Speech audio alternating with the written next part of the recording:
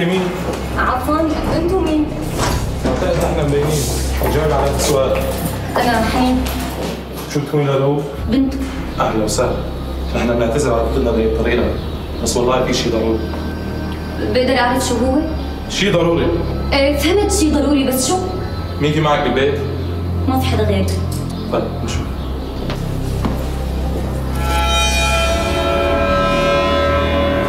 إذا عرفت مين بعت هاي الرسالة أو اهتديت لخيط واحد بدي أخنقه بإيدي هدول.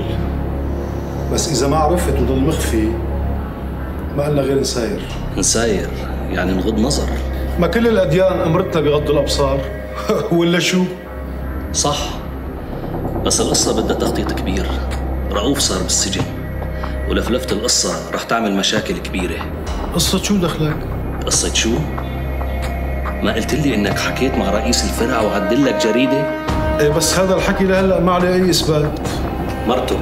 كذابة سافرت برا البلد. عناصره متآمرين عليه وغاضين والأب اللي مات. في عنا تقرير من طبيب بيقول إنه ما بيعيش أكثر من شهر لأنه معه سرطان أها. طبعا. ولهلأ ما في أي ادعاء شخصي. بقى ليش موقفينه للزلمه؟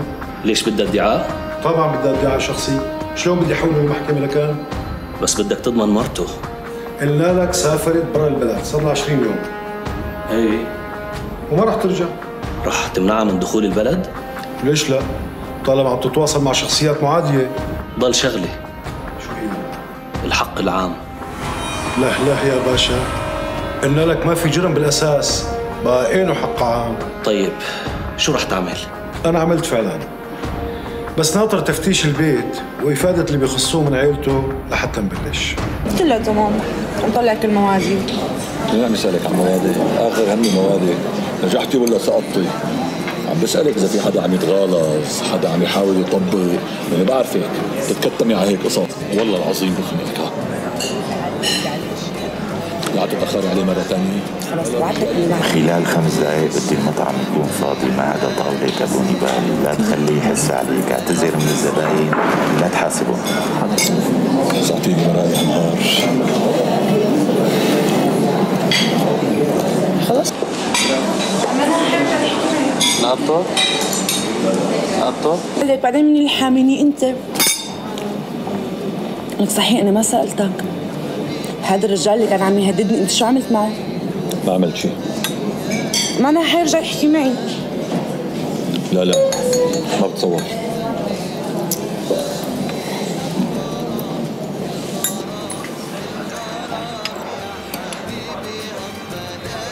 اكل كثير طيب عن جد؟ صحة وأنا.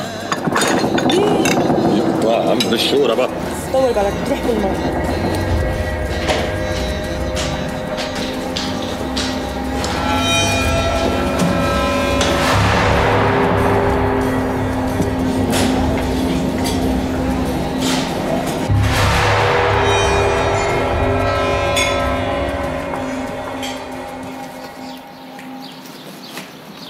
لك شباك شباك حولتني مثل المعزاية على باب المسلخ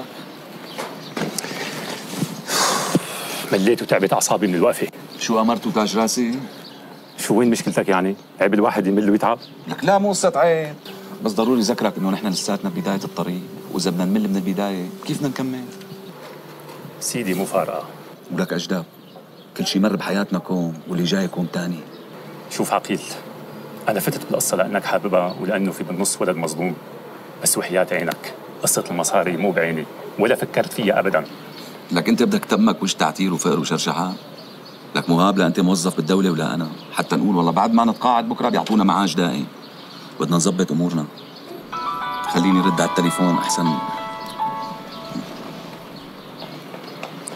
أهلين خال. على راسي. والله الحمد لله. كيف مرت خالي وزينة والشاب الظريف عدنان؟ شايف لمعت عيونك لما سمعت اسم زينب لا معك معك معك خال على راسي. اليوم؟ والله اليوم مشغول كتير. رح أبعت لك مهاب شو رايك؟ إيه مشان الله ما تواخذني يا خال. فعلا لو ما كنت مشغول كنت اجيتك براسي. إيه الله معك. مع السلامة. أيامك يا عم. البلدية هدت له الغرفة اللي عمرنا له إياها ولا بدي أعمر محلها؟ إيه مو مشكلة. مو مشكلة؟ مبين قلبك عم يقول حق وعم ترقص من الفرح خلص بقى ولو روح الله يجعلها من نصيبك إلهي بجاه كل مين له جاه عند رب العالمين بشرف البنت بتطير عقل وما في منها الله يسوقك على بكي.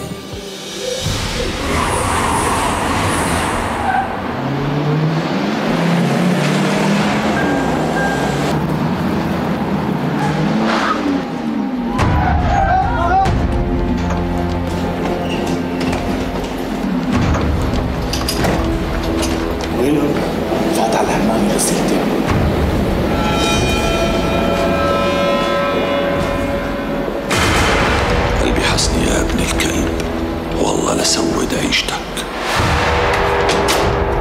مو جوا شو مو جوا؟ كان يهرب يا سيدي شو هرب ما هرب؟ شو القصة؟ شو هرب من خمس دقايق فات يغسل ثيابه بعد ما كب عليها أكل هلا شباك الحمامات؟ لا بس كيف حس اللي عم تحكي هذا الحكي؟ بوس ايديكم لازم تمسكوه والله بيقتلني وين راح؟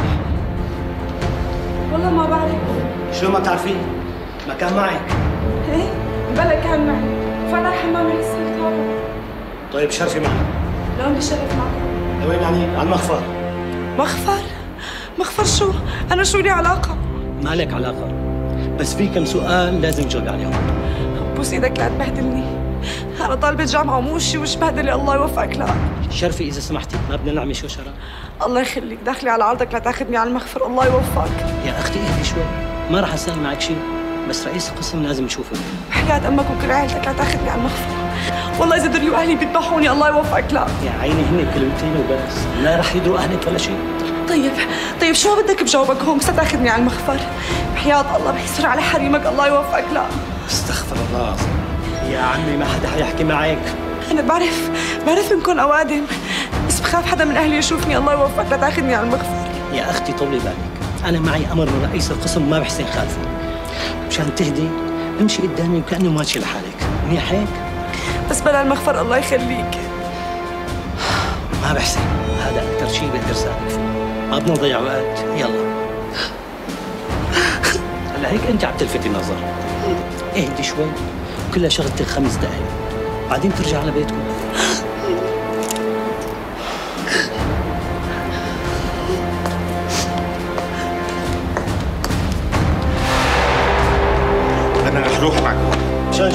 شو؟ مشان شو هذا مجرم بده يرجع يعمل لي مشكلة أنا لازم أشوف صيانه العقيم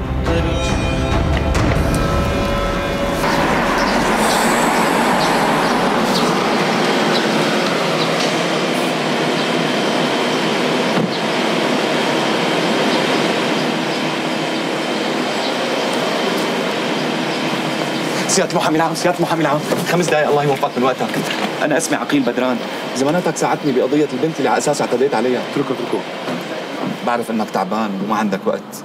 الله يوفقك تستقبلني أنا ورفيقي. بس خمس دقائق ليش ما رحت على القصر العدلي؟ لأنه في ألف واحد مثل حكايتي وما حيصح اللي يشوفك.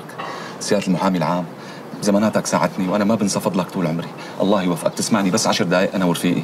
في واحد رح ينحكم إعدام وأنا براءته بإيدي. طيب. خلينا نفوتوا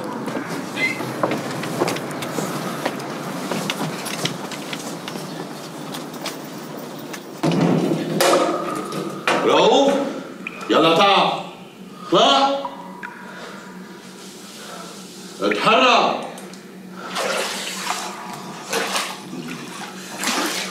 يلا. يلا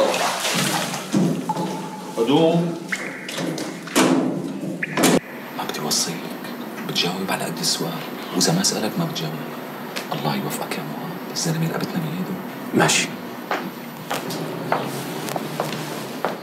تفضلوا ارتاحوا تفضلوا إيه قل لي أنت شو صار بقضيتك؟ سرحوني من التعليم. حكمك القاضي وقتها؟ نعم سيدي. ولولا حضرتكم كان حكمني أكثر بكثير مشان هيك أنا ما رح أنسى معروفك بحياتي. العفو العفو. إيه اللي شوف شو القصة اللي جاي مشانها؟ سيدي من فترة شي شهر في شاب اختلف مع أبوه. هلا الولد زودها شوي. رفع دعوة على أبوه قام فيها الوصاية عن أملاكه اللي كتبتها أمه باسمه وهو صغير. الأب ما تحمل زاد حاله من الطابق الخامس. أوف. نعم سيدي. مديرة المعمل اللي هي حبيبة الأب أم حازم صارت تصرخ وتقول دفش أبوه قتل أبوه دفش أبوه.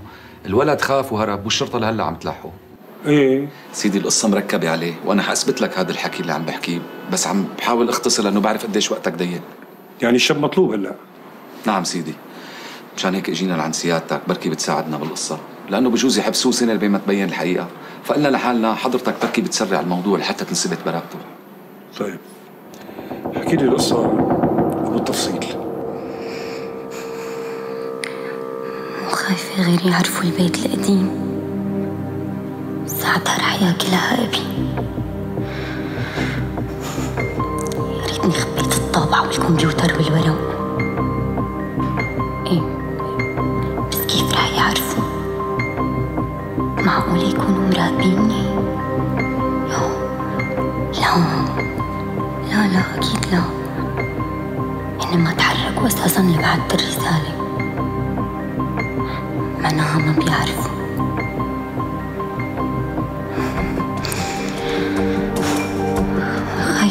penghuni.